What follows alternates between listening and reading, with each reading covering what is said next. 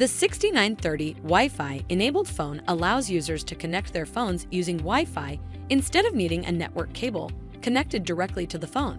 Wi-Fi must be enabled and configured before this feature is available. Your system administrator must enable Wi-Fi.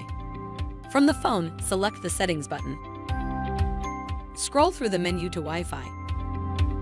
Press Select. The phone searches for available Wi-Fi. Multiple listings may appear for your Wi-Fi. Choose the one at the top of the list for best performance. Highlight the appropriate Wi-Fi using the navigation button. Press Connect. Enter your Wi-Fi network password. Press Save. Press Yes to save to connect to the Wi-Fi. Press No to return to the prior screen. Once the Wi-Fi information is saved, the phone is connected to the network.